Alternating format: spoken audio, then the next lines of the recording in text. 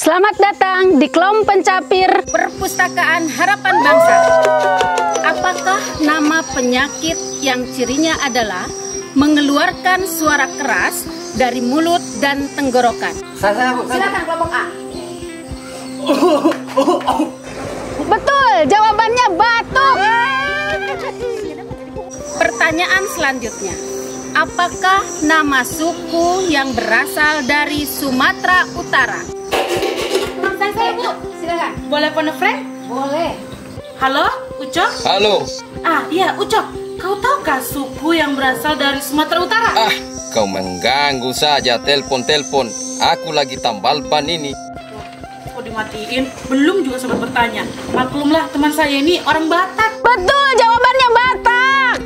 Pertanyaan selanjutnya. Apa ciri desain kaos buatan Ibu Dewi dari Kampung Pegat Bukur, Berau, Kalimantan Timur? Kelompok A. Saya tahu, pasti jawabannya batik. Betul, jawabannya batik.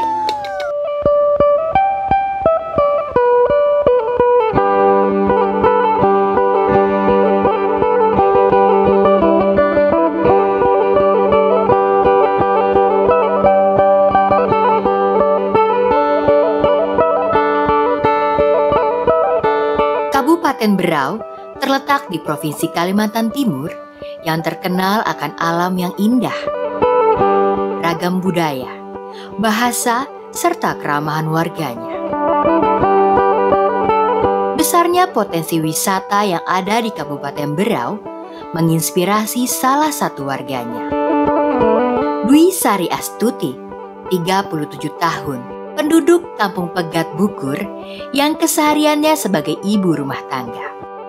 Ia memiliki keahlian sebagai penjahit pakaian dan memikirkan bagaimana caranya agar produk kearifan lokal, yaitu batik berau, dikenal luas oleh masyarakat.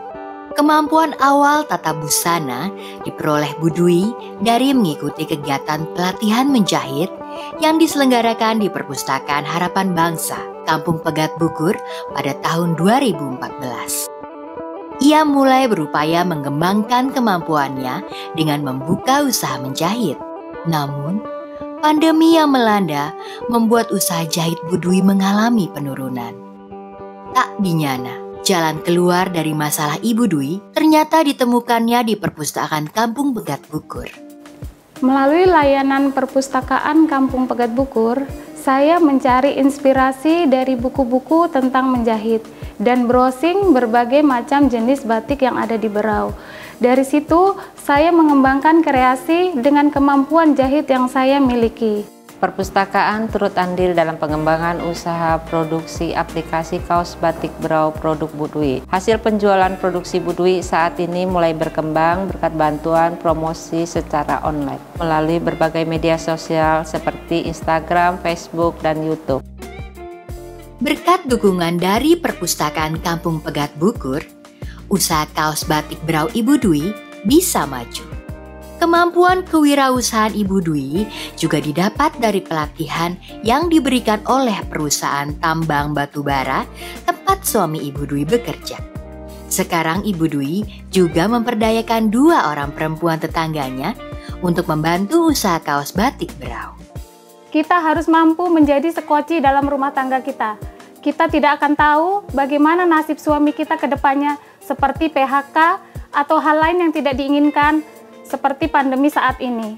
Mulailah dari perpustakaan, kembangkan diri hingga mampu menjalankan usaha untuk membantu perekonomian keluarga dan masyarakat. Salam literasi, literasi untuk kesejahteraan.